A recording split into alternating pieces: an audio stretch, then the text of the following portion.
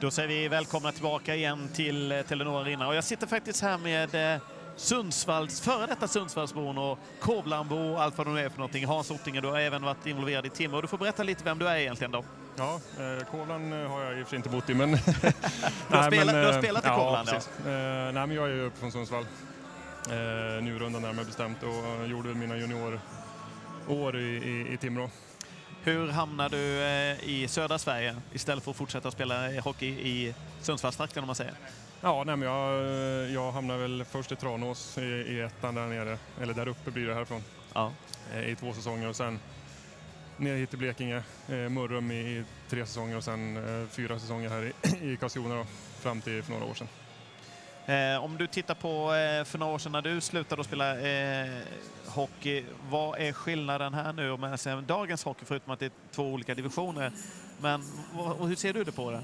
Nej, men det är ju ett, ett snäpp upp naturligtvis. Eh, det, det, det, det, går ju snabbare och det är bättre spelare helt enkelt. Så att, eh, men om man tittar så på utvecklingen av hockeyn just nu med det här med hybrid-icing, man har ändrat det här också med eh, de här zonerna. Eh, och även också en del regeländringar just här vid tekning att eh, hemmaspelaren måste sätta ner klubban, eller ska sätta ner klubban först. Mm. Eh, lite andra regeltolkningar och sånt. Vad, vad, tycker du att det kan påverka och utveckla hockeyn? Ja, men just den här icing-regeln tycker jag, det jag sett hittills är rätt positivt. Eh, det, det är ibland en, om man säger, en misslyckad passning som, som man kanske är väldigt nära att nå, kan man då fortsätta och, och jaga, eller man kan till och med kan ju till och med bygga spelet lite på det, att man chippar ner den och har en snabb kille som går. Så det, det tycker jag är, är positivt. Om man tittar på matchen som den utvecklar sig här nu, om man tittar första perioden så inledde ju Timrå väldigt, väldigt starkt. Men där Karlskrona tog över mer och mer och man också ledde efter, två, eller efter första perioden med 2-0. Mm. Eh, man inledde lika starkt andra perioden och gick upp till 4-0. Mm. Men sen så fick man Timrå det här momentumet tycker jag, där man fick lite energi, eller håller du med mig om det? Ja, som du sa, alltså första perioden, Timrå började, deras första minut i matchen var grym. De hade säkert 5-6 skott innan Karlskrona stack upp och gjorde 1-0 i första anfallet där. Och sen tycker jag ändå att första perioden gick ju både målmässigt och poängmässigt till, till, till Karlskrona.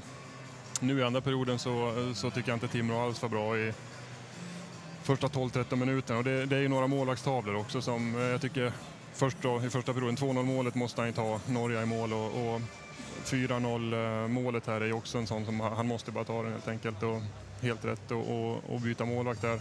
Han ingav inget större förtroende.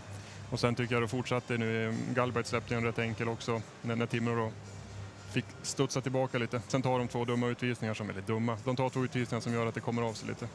Sen samtidigt tycker jag ändå att eh, målet som ändå Timrå gör, det, det, är ändå ett eh, rappt och han, eh, han eh, ska säga att han maskerade skottet ganska bra också. Så att det, det ja, känns, som att, det, det, känns som att inte det gör han, men Patrik Albert med på det riktigt. Nej, precis. Ja, han sover lite tycker jag. Det är fortfarande väldigt långt avstånd och, och det är på stöten så jag tycker han, eh, den borde Galberg ta. Men samtidigt, jag gillar, jag gillar han Johan Persson i, i Timrå där så att det var väl rätt kille som fick göra det.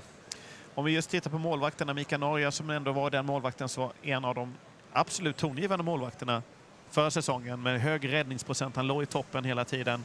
Eh, inledde den här säsongen väldigt bra mm. spelmässigt och räddningsprocentmässigt. Men vad är det som gör att han har faktiskt gjort sånt dåligt, in, no. dålig insats denna säsong? Eller förlåt, denna, denna matchen? Ingen aning. Det, han har väl en sämre dag kanske, eller ja. haft en sämre dag. Det, jag tror inte man ska göra någon större analys av det, utan han, eh, det är ju en bra målvakt i grunden, så att det, alla har sämre dagar.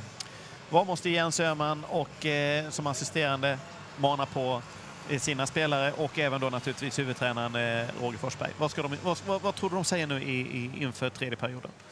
Ja, för det första, jag tycker de, man borde gå ner, det kanske man redan har gjort, jag inte uppmärksammat det, men man borde gå ner på lite, lite kortare folk kanske och sen eh, jag tycker det, det Timrå saknar är liksom den här sista, sista tredjedelen och komma in på komma in på mål framför mål och skapa de riktigt farliga lägena. Så lite mer fart och tuffhet jag ska säga, i sista, sista delen av, av banan. Då eh, gör vi så att vi eh, hoppas att Timrås eh, tränare lyssnar på vad Hans Ottinger har sagt här. Sunds, före detta Sundsvallsbo, numera Karlskronabo. Mm. Eh, och kanske se att vi kan få till en annan förändring. Men i annat fall så alltjämt är alltså 4-1 till Karlskrona.